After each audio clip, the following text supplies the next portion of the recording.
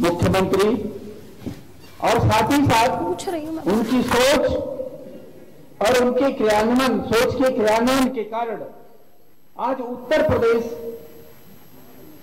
इस प्रकार का प्रदेश बन गया है कि देश के सारे प्रदेश उसका अनुकरण करना चाहते हैं आदर्श प्रदेश बनाने का श्रेय आदरणीय मुख्यमंत्री जी के। और आज केवल देश ही नहीं तो विदेशों में भी उत्तर प्रदेश के मॉडल की चर्चा होती है। इस सोच की, इस कारगुजारी की, और आज उनका हमको मार्गदर्शन प्राप्त होगा, वह हमको मुख्य अतिथि के नाते मिले हैं। ये हम सब लोगों का सबसे बड़ा सौभाग्य है। मैं उनका स्वागत करता हूँ, अभिनंदन करता हूँ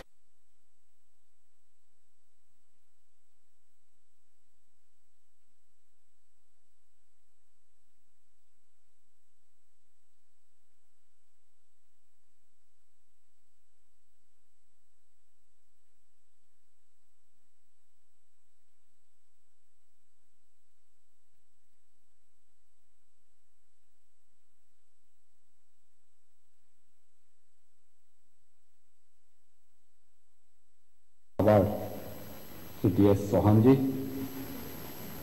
Uttar Pradesh सहकारी ग्राम विकास बैंक के प्रबंध निदेशक श्री के सिंह जी आज की इस बयालीसवीं सामान्य निकाय की बैठक में उपस्थित उत्तर प्रदेश सहकारी विकास बैंक से जुड़े हुए सभी निदेशकगण मैं सबसे पहले उत्तर प्रदेश के इस सहकारी ग्राम विकास बैंक की बयालीसवीं सामान्य निकाय इस बैठक में चुने गए सभी नवनिर्वाचित प्रबंध कमेटी से जुड़े हुए पदाधिकारी और उनके उनके प्रतिनिधियों का हृदय से उन्हें बधाई देता हूँ। बैंक ने जो एक नई यात्रा प्रारंभ की है, सहकारिता के क्षेत्र में एक सुखद अनुभूति कराता है। इसके लिए मैं आप सबके प्रति अपनी शुभकामनाएँ भी व्यक्त करता हूँ। आप में से बहुत सारे सदस्य ऐसे होंगे जो पहली बार बैंक के निदेशक के रूप में चयनित होकर के इस विकास यात्रा के साथ सहभागी बने होंगे। व्यक्तिगत जीवन में आप अपने घर में, अपने परिवार में विकास की इस प्रक्रिया का पार्ट रहे होंगे। लेकिन अब एक सहकारिता के अभियान के साथ जुड़कर के समाज निर्माण राष्ट्र निर्माण के इस प्रवर्तमान अभियान में इस सहकारी ग्राम विकास बैंक की प्रबंध कार्यकारिणी के साथ जुड़ करके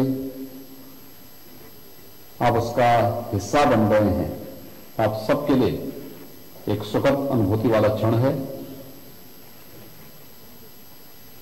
सहकारिता का आंदोलन विशुद्ध रूप से एक लोकतांत्रिक व्यवस्था पर जुड़ा हुआ अभियान है। और इसीलिए हमारी सरकार ने ये निर्णय दिया कि जितनी भी सहकारी संस्थाएँ हैं,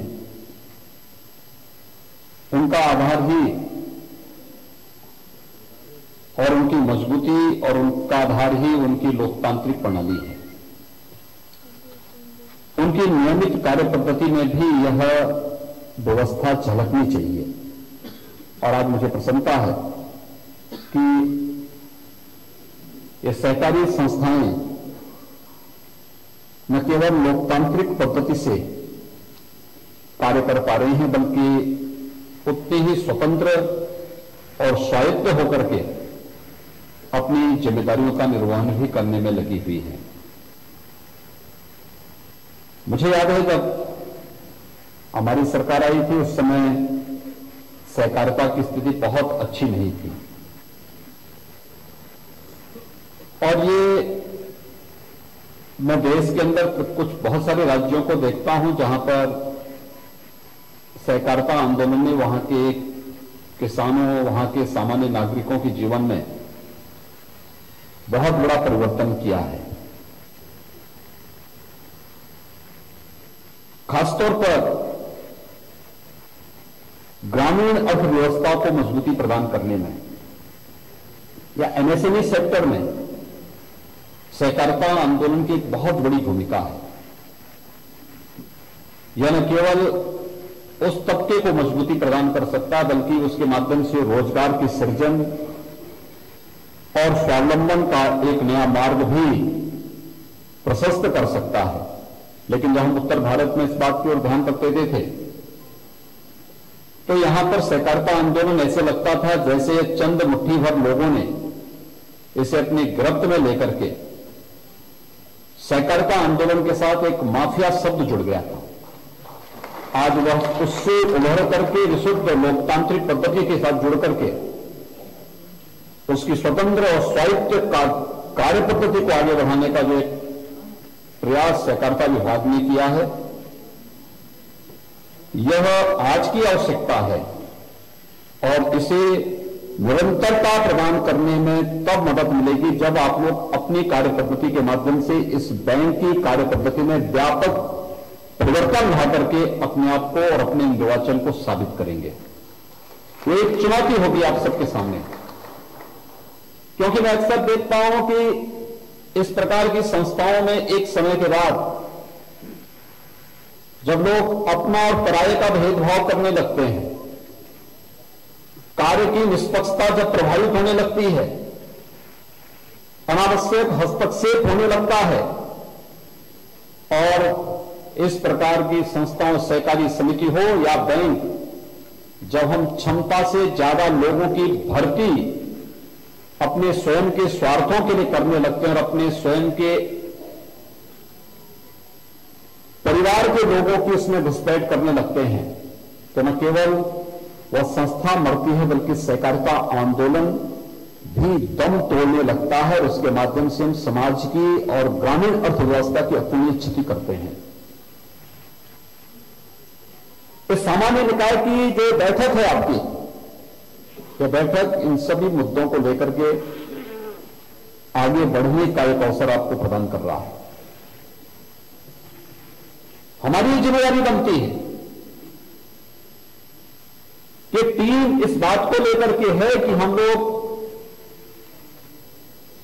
सामूहिक रूप से विशुद्ध सहकारिता की भावना के साथ टीम वर्क के माध्यम से प्रदेश के अंदर एक बार फिर से सहकारिता के आंदोलन में एक नई जान फूंकने का कार्य करें मेरा विश्वास है कि जहाँ पर टीम वर्क होगा उसके बेहतर परिणाम भी उसी रूप में सामने आएँगे। दस लोग होंगे, दस लोगों की अलग अलग राय होगी।